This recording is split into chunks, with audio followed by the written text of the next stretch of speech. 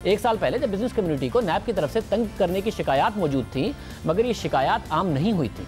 तो 24 अक्टूबर 2018 को उस वक्त के वज़ीर खजाना सदुबर के सामने हमने ये मामला उठाया तो उन्होंने हमारे सवाल से इतफाक किया।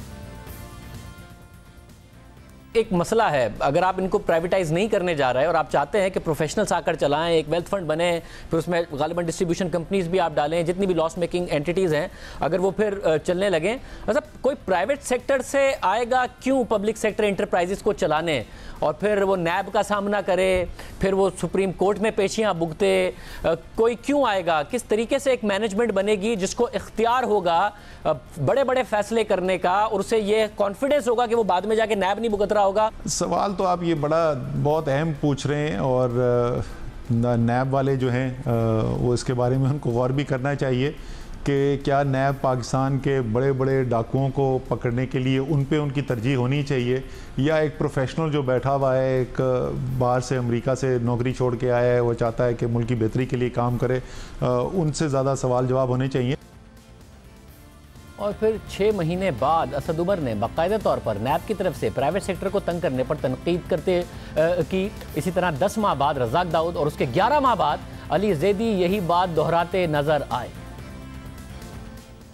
ये कारोबारी तबके दो प्राइवेट पार्टीज़ का प्राइवेट डिस्प्यूट उसके अंदर नैब घुस गई है। ओपन एयर में बोल रहा हूँ ये मेरे ख्याल में ये नैब का कानून जो प्राइवेट सेक्टर के पीछे जाना शुरू हो गया है इसके अंदर तरमीम की ज़रूरत है। जो इमरान उलग साहब हैं उनके ऊपर अगर कोई इल्ज़ाम थे तो उनको भले ई सी एल पर डाल देते जो उनके साथ किया नैब ने उठा के मेरी मेरी नज़र में गलत किया।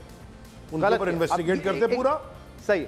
एग्जैक्टली है मैं I am saying it on live TV I am saying कि उनको उठा के जेल में बंद करना गलत किया नैब ने। तो, मैं आपसे कह रहा हूँ मैं नैब को क्रिटिकल होकर कह रहा हूँ कि गलत किया नैब ने। तो यहाँ तकरीबन सारे इन्वेस्टर जो हैं वो नैब के हाथ फंसे हुए हैं। इवन आपके कज़न जो है वो भी अपना हुसैन दाऊद साहब वो भी फंसे हुए हैं। तो ये एक इन्वायरमेंट ऐसी बन गई है तो आपका क्या ख्याल है कि ये नैब को ज़्यादा नहीं यस देखो I I had discussion with the prime minister uh, this is not a good thing. So obviously, it's, a, it's, a, it's an area of concern. It is an area of concern. We have to now stop this thing. Navi for something else, not for every single businessman. सब होने लगा और फिर मुल्की और बिन अवी media पर कई रिपोर्ट्स सामने आई, जिसमें अहम ब्यूरोक्रेट्स ने इन खदशात का इजहार किया कि वो किसी भी फ़ाइल पर दस्तखत नहीं करेंगे क्योंकि उन्हें डर है कि कहीं नैब उन्हें गिरफ़्तार न कर ले। चार जुलाई को बरतानवी खबर रसाई इदारे रॉयटर्स ने रिपोर्ट शाया की। रॉयटर्स ने छह सीनियर ब्यूरोक्रेट से बात की, जिनका कहना है कि सीनियर अफसरान मंसूबों पर काम करने और फैसला साजी से बच रहे हैं क्योंकि उन पर रिश्वत के इल्ज़ाम लग सकते हैं। एक सीनियर वफाकी अफसर का कहना है कि अगर मंसूबे का काम हो गया अगर मंसूबा काम कर गया तो मुझे गोल्ड मेडल नहीं मिलेगा। लेकिन अगर मंसूबा नाकाम हो गया तो मुझे जेल जाना पड़ सकता है। और फिर जहाँ बिज़नेस कम्युनिटी की शिकायत कर रही थी हुकूमत और हुकूमती वजरा हमारे प्रोग्राम में वजी रेलवे शेख रशीद ने इस बात का एतराफ़ किया कि नैब की जानब से ब्यूरोक्रेसी नैब की कार्रवाई की वजह से वो काम नहीं कर रही। मैं आ, सच कहना चाहता हूँ कि नैब जो है नैब से ब्यूरोक्रेसी ने हैंड्स अप कर दिए हैं और कोई दस्खत नहीं कर रहा ब्यूरोक्रेट्स। मैं आपसे सौ फ़ीसद इतफाक़ करता हूँ कि ब्यूरोक्रेसी के खदशात दूर करने होंगे और ब्यूरोक्रेसी जो है, वो सरेंडर किए बैठी है और दस्खत नहीं कर रही है और फाइलों को वैसे ही घुमा रही है। हमें ऐसा कानून लाना चाहिए कि जिस आदमी ने ये समरी पास किया है या जिस आदमी ने बिल क्लियर किया है, उस पर हमारा हाथ जो है, वो हल्का हो इसके अलावा मुख्तलिफ़ इदारों ने भी अपनी रिपोर्ट्स में नैब के हवाले से खदशात का इजहार किया। नेपरा और ए सी सी पी की सालाना रिपोर्ट्स में नैब के हवाले से खदशात का इजहार किया गया। नेपरा की रिपोर्ट के मुताबिक नेपरा ने जितने भी मनसूबों के हवाले से काम किया, उन सबसे मुतालिक नैब सवाल पूछ चुका है, जिस तरह से तहकीकात की गई, उससे नेपरा के प्रोफेशनल्स का मुराल बिल्कुल ख़त्म हो गया है। फिर हमारे प्रोग्राम में ए की पॉलिसी बोर्ड के सरबरा खालिद मिर्ज़ा ने बताया कि नैब के खौफ की वजह से कोई काम करने को तैयार नहीं। है सिचुएशन ये है कि स्टाफ जो है वो आ, काम करने को तैयार नहीं है ताकि वो उनको कोई घबराहट है कि शायद कोई पकड़ के ले जाए। जो दो चार केस जो हम मैंने देखे हैं वो कुछ लगता नहीं है कि हमारे लोगों ने कोई काम गलत किया है। वहाँ तो इतना डर खौफ है कोई कंपनी को रजिस्टर करना नहीं चाहता कोई चार्ज को रजिस्टर करना नहीं, नहीं चाहता कोई आगे बोलना नहीं नहीं चाहता। और ये इंस्टीट्यूशन जो है इसके ऊपर ये जो कुवतें इसके ऊपर हावी हुई हुई हैं। नैब ने इस इंटरव्यू के बाद खालिद मिर्ज़ा ही के खिलाफ इख्तियार के नाजायज इस्तेमाल के इल्ज़ाम पर इंक्वायरी शुरू करने का ऐलान कर दिया। इस इंटरव्यू का भी नोटिस ले लिया। फिर सूरत हाल बदली। शिकायत बढ़ी और एक एक करके अपोजिशन रहनुमा जमानत पर रिहा होने लगे। ब्यूरोक्रेसी ने काम करना छोड़ दिया। बिज़नेस कम्युनिटी की परेशानियाँ बढ़ गईं और अपोजिशन के रहनुमा पर रिहा होने लगे। जमानत पर रिहा होने लगे। शहबाज शरीफ मरीम नवाज़ आसिफ जरदारी फरियाल, तालपुर, मिफ्ता इसमाइल, आगा सरा दुरानी को न सिर्फ़ जमानत पर रिहाई मिली बल्कि अदालती फैसले में नैब की साख, नैब की कारकर्दगी और नैब की तरफ़ से गिरफ्तारी के जवाब पर भी सवाल उठाए गए और फिर शेख रशीद हमारे प्रोग्राम में आए और इस बात को तस्लीम किया कि एहतसाब के हवाले से अवाम की तो पूरी नहीं हुई। आप ही का जुमला है कि फेस बिहाइंड द केस मगर चेयरमैन नैब कहते हैं कि हम फेस नहीं देखते, हम केस को देखते हैं। तो क्या आपको लग रहा है अब नैब कॉम्प्रोमाइज़ कर गया? देखें नैप ने क्या कंप्रोमाइज़ करना? अब देखें नैप ने भी अपने ताई तो कोशिश की। दो दो प्राइम मिनिस्टर जो हैं, वो जेलों में हैं और फिर ये अदालतों ने उनकी ज़मानतें ली हैं। अब मैं इस पर क्या तबसरा कर सकता हूँ?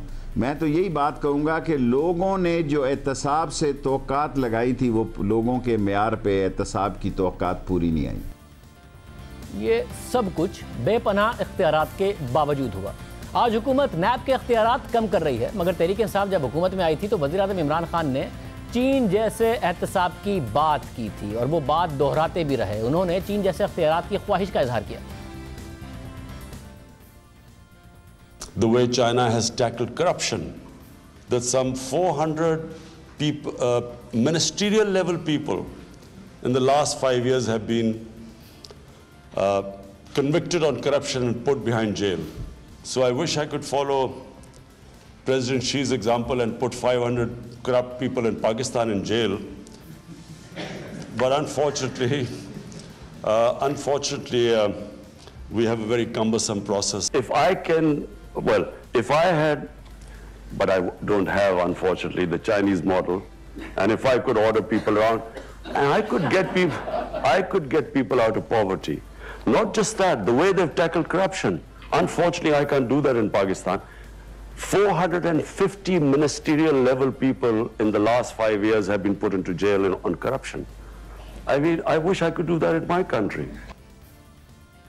वजी अजम चीन की मिसाल दे रहे हैं जहाँ वज्रा का एहतसाब होता है बकौल उनके मगर वजी अजम इमरान खान पर तो खुद ये तनकीद होती है कि वो अपने वज्रा के खिलाफ कार्रवाई नहीं करते अपने प्रोजेक्ट्स के खिलाफ कार्रवाई नहीं करते सिर्फ़ अपोजिशन के खिलाफ होती है आज हुकूमत चेयरमैन नैब के मौजूदा अख्तियार से परेशान है उन्हें कम करने की बात हो रही है, मगर चेयरमैन नैब जैसे रिटायर जावेद इकबाल ने अपनी गुफ्तु में सऊदी अरब जैसे अख्तियार का ज़िक्र किया।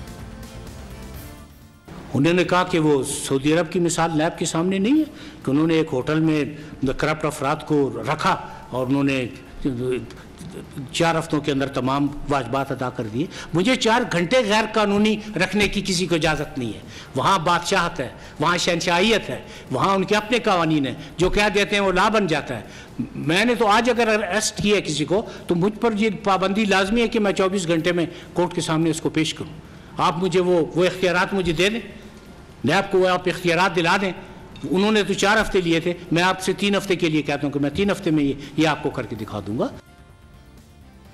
वजी अजम को चीन जैसे अख्तियार चाहिए। चेयरमैन नैब को सऊदी अरब जैसे अख्तियार चाहिए। फवाद हसन फवाद अहद चीमा साल से ऊपर हो गया गिरफ़्तार हैं। उनके खिलाफ क्या साबित कर लिया गया है? दूसरे अपोजिशन के रहनुमा इतना लंबा अरसा जेलों में रह के आए क्या साबित हो गया है? शायद हकानाबासी जेल में है क्या साबित हो गया है? और अगर सऊदी अरब और चीन जैसे अख्तियार मिल भी जाएँ तो क्या करप्शन जल्दी खत्म हो जाएगी? क्या चीन की तरह कार्रवाई करके करप्शन खत्म हो जाएगी? क्या इन दो ममालिक के आमराना कवानीन करप्शन रोकने में कामयाब हो गए हैं? इस सवाल का जवाब है नहीं।